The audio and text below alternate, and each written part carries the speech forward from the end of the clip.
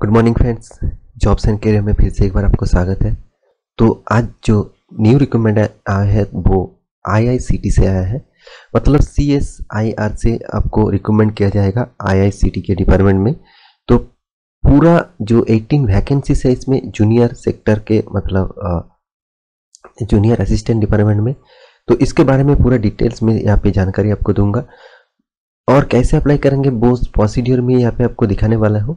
तो वीडियो को पूरा लास्ट तक देखिए और नोटिफिकेशन के बारे में पूरा जानकारी यहाँ पे आपको देने वाला हूँ। तो वीडियो को लास्ट तक देखिए और अभी तक मेरे चैनल को सब्सक्राइब नहीं किया तो ज़रूर सब्सक्राइब कर लीजिए क्योंकि डेली बेसिस में जॉब इस चैनल में ले आता हूँ। कोई भी नोटिफिकेशन आपसे मिस ना हो जाए तो बेल आइकन को प्रेस कर ऑल भी कर दीजिए।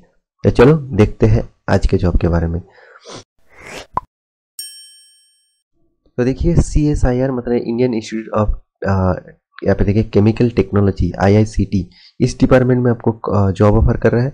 ऑल ओवर इंडिया से अप्लाई कर सकते हैं। जॉब लोकेशन अभी तक सिलेक्शन नहीं, नहीं नहीं किया है। और यहाँ पे देखिए 18 जो वैकेंसीज है वो जूनियर यहाँ पे देखिए जूनियर असिस्टेंट के लिए आपको 8 पोस्ट है। जूनियर असिस्टेंट एफएन के लिए 5 पोस्ट है। जूनियर साइंटिस्ट असिस्टेंट के लिए 5 पोस्ट है। और यहाँ पे देखिए परमानेंट जॉब मिलेगा फ्रेशर्स और एक्सपीरियंस दोनों अप्लाई कर सकते हैं। गवर्नमेंट सेक्टर में आपको जॉब मिलेगा।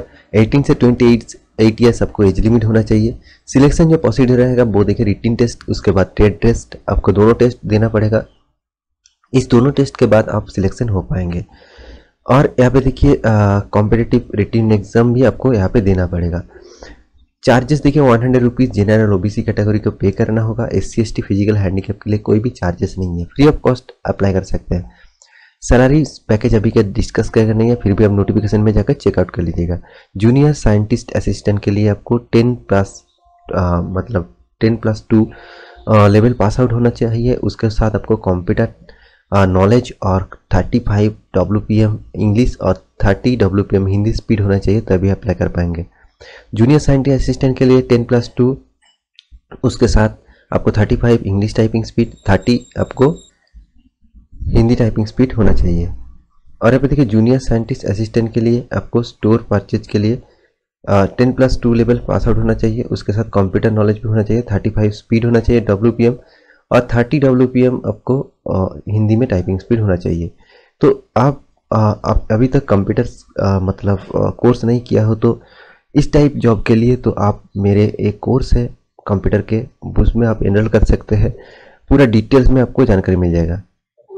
और इस कोर्स को अप्लाई करने के लिए आपको जल्द से जल्द मुझे कमेंट करना होगा, मैं आपको कांटेक्ट कर लूँगा।